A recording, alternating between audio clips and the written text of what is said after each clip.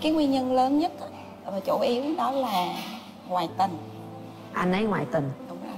Ảnh không có cái trách nhiệm với gia đình về cái trong cái vấn đề tài chính. Dạ. Ờ, rất là ỷ lại vào bố mẹ. Rồi rồi nó dẫn đến nhiều cái chuyện khác nữa. Rồi nó lại liên quan tới tệ nạn xã hội nữa. Lúc đó anh có dành nuôi con gì không? Không. Thế bây giờ anh đã có cái tình duyên mới chưa? Ừm, có vợ và có hai con rồi như vậy là chia tay cũng cần 10 năm. 13 năm. Thế sao 13 năm qua chị vẫn chưa có bước thêm bước nữa? Tại vì mình thương con. Sao chị không tâm sự với con trai? Không con trai thì rất ủng hộ. Bởi vì bây giờ nó lớn rồi nó có một cái suy nghĩ riêng rồi. Dạ. Nó cũng khuyến khích mẹ tham gia chương trình. Con trai lớn trưởng thành rồi chắc chắn là sẽ thương mẹ ha sẽ lo cho mẹ. Quan trọng là mẹ tìm được người như thế nào Tường xin chào mọi người, chúng ta đã đến với nhau trong chương trình Hẹn ăn trưa quý vị nhé. Và các cặp đôi thì à, đã ngồi vào vị trí của mình rồi nhưng mà còn thiếu bạn nữ. Bây giờ thì Tường sẽ ra ngoài mời bạn gái của ngày hôm nay vào nha Bước tới vài bước nữa thôi. Rồi, vào ghế ạ. Rồi, mời hai anh chị hãy à, tháo mặt nạ mình ra nha Bây giờ các tường mời hai bạn bắt đầu chia sẻ với nhau. Trước tiên là giới thiệu về bản thân của mình trước. Mời anh ạ Em tên ờ, là Hoàng Linh, năm nay ờ, 46 tuổi. Quê em thì ờ, ở gốc là ngoài ờ, Thái Bình. Thế là anh đang làm công việc gì? Đang làm một công việc kinh doanh tự do. Xe cộ rồi nói chung cái gì cũng chạy hợp đồng hoặc là chạy cái gì mà chở khách còn này nọ. À. Nhà mình được mấy xe? năm xe. 5 xe Là một xe riêng của em là chạy ở trên chợ đầu mối là 7 chỗ. Tại chỗ là anh chạy luôn À. À vừa cho thuê xe rồi vừa chạy luôn Thế còn chị, xin mời chị giới thiệu à, tên là Tăng Nguyễn Huyền Trinh 46 tuổi. Dạ. À, em đang làm nhân viên văn phòng ở sinh sống tại thành phố Hồ Chí Minh. Mình lên Sài Gòn lâu chưa? mấy chục năm rồi. Mấy chục năm. Vậy là cả hai đều đã lập nghiệp ở trong này mấy chục năm rồi ha. Chị nghĩ điểm mạnh, điểm yếu của mình là gì chị? à, điểm mạnh của mình đó là à, mình thích nấu ăn nè. Dạ. Yêu cái cuộc sống gia đình rất quan tâm đến người khác. Cái khuyết điểm thì cũng hơi nhút nhát. Rồi cái thứ hai nữa là mình khi mà đi ra một cái đám đông mà thì mình cái mặt thì rất là nghiêm nên khó có tạo một cái thiện cảm với những cái người xung quanh Đã mình biết khuyết điểm mình vậy thì mình cố gắng mình mình mình à, mình à, hạn chế lại cái đó ha Cái điểm mạnh, điểm yếu của anh Những cái điểm mạnh là như là ví dụ như là siêng năng, công việc thì quyết tâm, sửa chữa ba cái đồ trong nhà rồi là Làm được hết làm được điện nước cái này nọ. rồi đó. Thế còn điểm yếu của mình? Điểm yếu là hơi nóng tính chút xíu, nhút nhát. nhút nhát. Ờ em thấy hơi nhút nhát đó.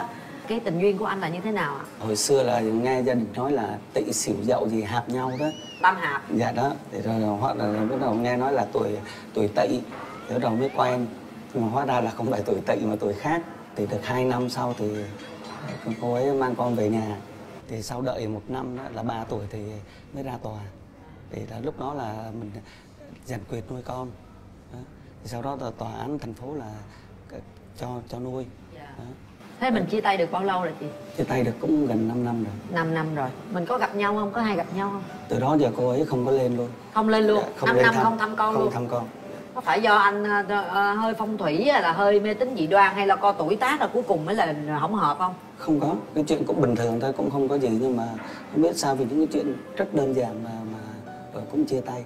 Rồi bây giờ làm- bây giờ thì có có tìm tuổi nữa không? Có họ tìm người hợp tuổi tiền. nữa không? Không không. Bằng tuổi là có hợp với nhau không? Nếu bằng tuổi mà hợp thì là được chứ đâu có sao. Thế anh nghĩ nguyên nhân tại sao mình chia tay? Nguyên nhân đó bây giờ đến giờ cũng không biết một cái lý do gì đó mà mà chia tay. Sao không biết được? Mình đổ vỡ mình phải biết cái lý do mình phải tìm hiểu để như mà Dạ. sau này mình còn rút kinh nghiệm cho cái cái cuộc hôn nhân sau chứ. Cái lý do thì thấy rất đơn giản. Ví dụ những chỉ có nói qua nói về thôi. Đó chứ cũng không có gì là nặng do anh nóng tính quá. Không cũng nói một vài câu rồi ví dụ nóng xong rồi thôi. À, bé trai hay bé gái? Bé gái. Bé gái. Là coi như hiện giờ bé là đang sống với anh. Dạ đúng rồi. Cái cuộc sống mà gọi là nuôi con một mình thì đối với anh anh gặp những cái khó khăn gì? Thì cũng có khó khăn cũng có khó khăn nhưng bây giờ hiện tại vẫn nhờ bà nội. Thế còn chị thì cái tình duyên của chị là như thế nào? À, mình mình có gia đình năm 2001 2003 mình ly thân 2006 thì ly hôn. Con mình là con trai hay con gái? Con trai 17 tuổi sống với mình. 17 tuổi rồi? Wow! Nguyên nhân tại sao mình gãy đổ? Cái nguyên nhân lớn nhất và chủ yếu đó là ngoại tình. Anh ấy ngoại tình. Đúng rồi. Ảnh không có cái trách nhiệm với gia đình về cái trong cái vấn đề tài chính. Dạ. Ờ, rất là ỷ lại vào bố mẹ. Rồi rồi nó dẫn đến nhiều cái chuyện khác nữa. Rồi nó lại liên quan tới tệ nạn xã hội nữa. Lúc đó anh có dành nuôi con gì không? Không. Thế bây giờ anh đã có cái tình duyên mới chưa?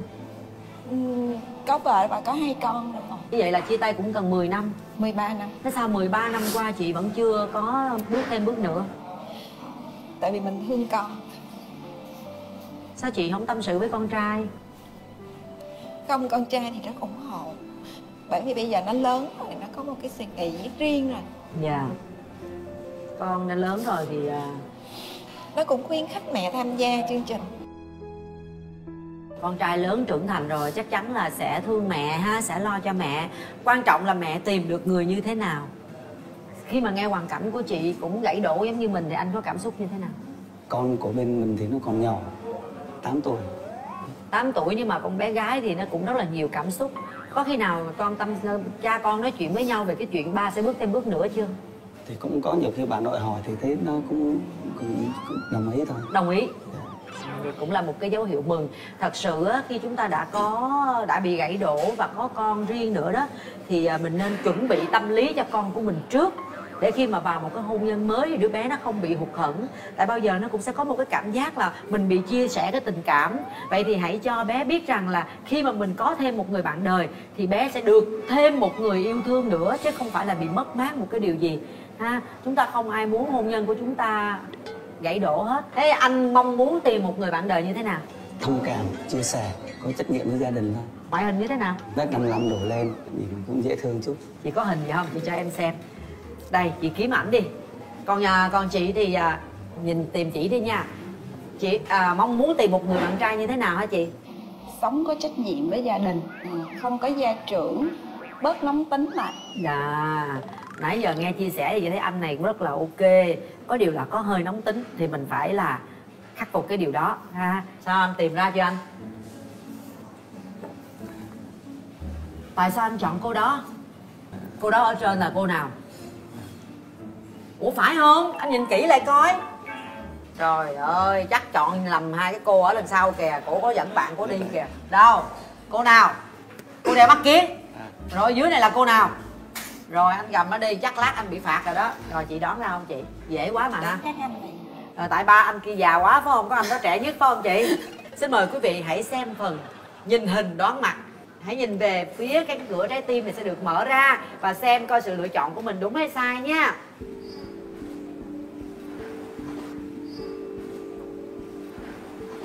Chào. Dạ sao ạ? Anh thấy anh trúng hay trật dạ chị ấy đã rất đoán rất là chính xác. Phải phạt chứ. Bây giờ anh hãy đứng lên để cho cô ấy có thể nhìn được cái body của anh. Giúp cho anh vé đi chị. Hát và anh sẽ nhảy để cho chị nhìn cái body của anh vỗ tay cho chị đi anh. Nắng len qua hàng cây bước chân vui đùa. Là lời đàn bướm bước chân vui hạnh phúc nắm tay ta về vùng trời bình yên. Nhảy vậy đó hả? Vậy đó nhảy rồi đó hả? Dạ dạ. Trời ơi bởi tao nói không có vợ chăm sóc bèo nhèo dễ sợ luôn vậy hả rồi bận quần áo không có ủi luôn hả? Đâu có vợ ủi đâu biết ủi đồ không? Không. là tự giặt là lấy ra mặc vậy thôi hả? Máy xong là lấy ra Trời ơi thương ghê không? Ờ, Thiệt rất là thiệt thà, rất là chất phát Ờ đây đây đây, anh anh anh anh. Trời cái lăn lên chút, qua qua qua trái tim. Có mua quà tặng em. Dạ cảm ơn anh ạ. Dạ. Có một cái món quà tặng cho dạ cảm ơn em. Bây giờ thì tôi muốn dành cho hai anh chị một cái không gian riêng Để mình có thể trò chuyện với nhau một chút xíu ha Kính thưa quý vị, đến với nhà hàng Banana Leaf Sài Gòn Restaurant thì chúng ta sẽ được thưởng thức những món ăn rất là ngon à, theo phong cách Ấn Độ nè. Ở đây có những đầu bếp từ Ấn Độ sang nha, với những món ăn truyền thống Ấn Độ rất đặc biệt. Ngoài ra về những món Á thì ở đây phục vụ những khách lẻ nè, những khách đoàn đến từ Mã Lai, Hồng à, Singapore, Philippines và ngày hôm nay thì để tiếp đón anh chị, chương trình đã tổ chức cho các anh chị ha thưởng thức một món ăn của nhà hàng đó là hủ tiếu xào Mã Lai quý vị nha. Nhớ vừa ăn vừa tâm sự với nhau nha. Ít phút nữa thì các tường sẽ quay lại. Chúc hai anh chị ngon miệng. cảm ơn các tường rồi em dùng dạ mời anh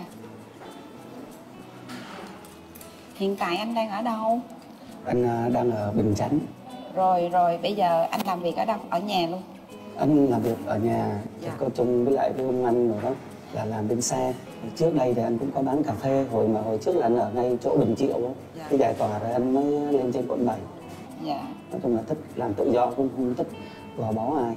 Như vậy thì thời gian của anh rất là chủ động đúng không? À, ví dụ anh chủ động như ví dụ như làm nghề xe này đó thì cũng chủ động. Đó, như công việc của anh á, thì nó chủ động về thời gian. Dạ. À. đó, nhưng mà ví dụ như nhiều khi ví dụ chẳng hạn như mình quen nhau ví dụ muốn đi đâu thì em báo trước. Dạ. À, đó thì là, là ví dụ để mình biết ví dụ mình lỡ mình biết thì mình có thể mình điều chỉnh. Thì công việc của em là em làm giờ hành chánh. Đó là nhà của mình luôn. Dạ không ở đó là nhà của em thuê là là hai mẹ con. Dạ. Công việc em thì cũng chỉ rảnh buổi tối là nhiều đúng không? Dạ chủ yếu là làm buổi tối với cuối tuần. À đấy. Cái công việc thì nó cũng bận nhiều khi năm sáu giờ mình mới về. Dạ có nhiều khi về muộn hơn. Công việc mà. Đấy. dạ. Anh đến chủ động hơn chút nhưng mà nói chung là nó cũng cũng có lúc là mình sớm. Nhiều khi kẹt xe dạ, rồi. hiểu đó đấy. cái công việc này. Và nãy giờ mà anh chia sẻ đó thì em thấy cái tính cách vậy thì em có thấy có được không em thấy thì rất là ok.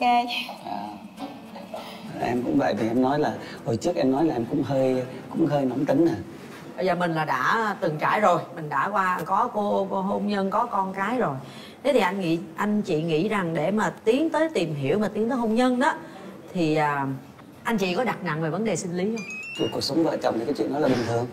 Cái đó thì cũng cũng là một trong thành phần là mình cũng tìm hiểu sơ thôi. Dạ. sơ là sao anh? Tìm hiểu kỹ Ờ, sinh lý là một là có hay là không thế tìm hiểu Có chứ, sơ có, là có, tìm có. hiểu như thế nào? Có. Anh còn s- sức khỏe ok không? Dạ được. Ok. Chị mong muốn chị khao khát nhất điều gì trong một cái mối quan hệ vợ chồng? À, đó là cái tình yêu thương. Tình yêu thương. Nếu cặp đôi này mà đến với nhau anh chị có định sinh thêm con không? Anh trả lời trước. Trong suy nghĩ của anh. Muốn. Chị? Không. Không. Không thường thì phụ nữ sẽ không. Anh biết lý do tại sao ta nói không không? Sợ là mình lớn tuổi quá. Dạ. Nếu không thì anh có vấn đề gì không? Cũng không sao. Thôi hãy tập Vì mình trung cũng đã có con rồi. Rồi nếu mà hai người kết hợp được thì một trai một gái là đã ok rồi. Rồi đúng Chẳng rồi. ví dụ đứa con chung là để gắn liền hai người thôi. Tại thực sự không cũng có không gắn sao. liền không gắn liền gì ăn thua hai anh chị yêu thương nhau hay không mà có con rồi vẫn ly dị thôi. Đúng Dạ. rồi đúng không? cho Đúng. nên bây giờ mình đến với nhau ở cái tuổi 46 rồi sanh nở chi nữa phải chi mà một trong hai mà chưa có con á thì mình phải cố ha. Em thì em nghĩ như vậy ha. Đúng là mình có suy nghĩ giống như các tường. Dạ em nghĩ như vậy. Đôi lúc em cũng muốn thêm con nữa Nhưng mà chỉ trừ trường hợp là rủi như em lấy một cái bạn trai mà người đó chưa có con Thì mình phải cố gắng. Chứ nếu không thì thiệt thòi cho người ta. Mình có mà mình không cho người ta có. Còn nếu mà em đã lấy được một người mà người đó đã có con riêng rồi Thì em nghĩ là không cần sinh thêm nữa đâu À, bây giờ để giúp vui cho hai anh chị ha Tường cho anh chị à, vài cái câu hỏi trắc nghiệm Để mình hỏi nhau để cho mình cảm thấy hiểu nhau được nhiều hơn. Rồi mời chị đọc lớn lên nè hãy nói ba điểm mà bạn ấn tượng về đối phương. Anh hãy nói ba điểm nào mà anh ấn tượng về chị Từ nãy giờ. À, ba điểm mà ấn tượng về đối phương là nhất là nhìn là ngoại hình là thấy ok. Ngoại hình. Dạ. cái quan điểm mà về à, tình yêu là cũng giống.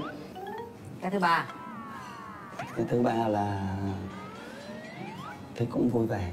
Vui vẻ. Quan trọng là chín cái vui vẻ. cái quan điểm á là cũng quan trọng ha. Còn cái cái nhìn cái cái ngoại hình mà anh thấy ok là cũng là tốt rồi. Đó là những dấu hiệu rất là khả quan. Phần còn lại là ở anh có chinh phục được cô ấy hay không nha. Rồi, theo bạn làm thế nào để có được nụ hôn tình yêu mãnh liệt? Thì hôn thôi. Thì hôn thôi thì hôn thôi nhưng mà hôn là hôn bình thường nó nhạt nhẽo lắm. Làm sao để có được nụ hôn tình yêu mãnh liệt? Cái đó để để mà nó mạnh liệt đó, thì hai con tim phải cùng rung động. Dạ. Và thật sự để mà hai trong tim cùng rung động nó nó nói nghe thì rất dễ. Nhưng mà thật sự cũng rất khó. À, em sẽ gửi gắm à, một cái lời gửi gắm của hai người bạn của chị ngồi ở ngoài kia. Bằng mọi giá hãy bấm nút. À, em chỉ nói nguyên văn thôi. Nhưng mà đối với các tường thì các tường nghĩ rằng là thật sự rung động, chúng ta mới bấm nút. Em thấy chị là một người rất là nhạy cảm. Có thể là trong cuộc sống chị cũng đã trải qua nhiều cái chuyện nó không vui, cho nên là chị rất là dễ xúc động. Và thật sự nếu như anh cảm nhận được điều đó, em nói thiệt nha, em nói anh đừng buồn ha. Nếu mà nói về tất cả mọi thứ, về cái nhìn bên ngoài, em thấy là em đang lo lắng là chị không chọn anh đó. Vì anh có vẻ không được trao chuốt, chị rất là trao chuốt về bên ngoài. Em sợ là không có hợp với cái gu của chị. Nhưng cái mà em cảm nhận được ở anh là một cái sự bản lĩnh một cái sự chân thành. Em hy vọng anh phát huy được cái điều đó để có thể cho chị cảm thấy anh là một cái bờ vai, một cái con người mà chị có thể tin tưởng và dựa dẫm vào được. Đó là những cái gì mà các tường cảm nhận được. Thế thì bây giờ anh um, em cho anh một cơ hội. Anh có muốn nói điều gì với cổ trước khi chúng ta đưa ra quyết định? Ờ, người bạn gái này là chín chắn, rất là về có hình thức rất là là tốt mình đây thì con trai công việc đôi lúc cũng không có để ý đến cái hình thức lắm. Chỉ trừ khi nào đi ăn tiệc ăn cưới thì áo quần về thẳng thớm thôi. Còn ví dụ bình thường thì cứ nghĩ là bình thường. Đó thì nói chung là vì độc thân mà. Đó thì tôi ví dụ qua cái chương trình này thì nếu mà ví dụ mình cảm thấy hợp thì mình cho nhau một cái cơ hội. Đó, để bản thân trong lòng anh hiện tại trong lòng hiện tại là mình muốn là là quen với lại bạn. Muốn có quyết liệt không? Quyết liệt anh có tự tin sẽ lo được cho mẹ con cổ không? Tự tin. Hồi nãy cổ hát cho anh nhảy bây giờ anh có thể hát tặng cổ một bài không? Dạ được. Rồi mời anh. Anh sẽ vì em làm thơ tình ai anh sẽ gom mây kết thành lâu đài. Đợi chờ một không gian nào tới đời chiều vàng hôn lên làm tóc. Đợi một lần không gian đổi mới đón hai đứa chúng ta mà thôi rất là dễ thương. Tôi không biết là chị cảm nhận như thế nào. Mình đó thì ờ, cái cái cái môi trường làm việc cái yêu cầu công việc thì à, nó tạo nên cái tính cách cái cái cái bề ngoài. Mình phải chăm sóc phải trao chuốt vì mình cũng muốn là cái người bạn của mình à, cũng vậy. Có thể là à, trước đây thì nó nó nó như thế nào thì mình cũng không quan tâm lắm. Nhưng mà bắt đầu có có một người bạn thì cũng phải chú ý hơn để cho nó có một chút tương xứng. Ừ. mặc dù cái bề ngoài nó không quan trọng lắm nhưng mà nó cũng điều này à, chị có thể hỗ trợ được cho ảnh nếu như chị cảm nhận được con người của ảnh. Tại vì em nghĩ nếu mà thật sự chúng ta rung động với nhau cảm thấy là đối phương có thể hòa hợp bởi vì cái bản chất nó là quan trọng. Bản chất khó thay đổi lắm chị. Còn hình thức bên ngoài chúng ta có thể thay đổi về tóc tai hay về quần áo hay về mọi thứ mình là phụ nữ mình có thể, em, xin lỗi, em có thể dùng từ là mình sẽ chỉ đạo được cái người đàn ông của mình. Mình có thể sắp xếp được cho anh ấy theo ý của mình. Và với những người mà khá là hiền hiền lành, khá là rụt rè như vậy thì mình sẽ dễ hơn trong cái việc là mình có thể kiểm soát được ảnh. Đó cũng là một cái tốt. Nếu mình tìm thấy một người mà hào nhoáng quá, họ trau chuốt quá, họ chỉnh chu quá, đôi lúc mình cũng phải nên dè chừng. Ha, thôi tường chỉ nói nhiêu đó thôi. Còn quan trọng còn lại là cái suy nghĩ và quyết định của anh chị. À, bây giờ thì à, mời anh chị sẽ đặt tay vào cái nút bấm này nhé. Sau 3 tiếng đếm nếu như các anh chị đồng ý và cảm thấy rằng đối phương có thể là một nửa của mình thì mình nhấn nút thật mạnh. Nếu chúng ta cảm thấy là chúng ta không có cảm xúc thì chúng ta hãy bỏ tay ra. Xin mời anh chị nhắm mắt lại. Một hai ba. Hết thời gian rất là nhanh lẹ. Thường hồi hộp lắm quý vị ạ. Rất hồi hộp. À, tường có cảm nhận anh chị này phù hợp với nhau đến 80 phần trăm á.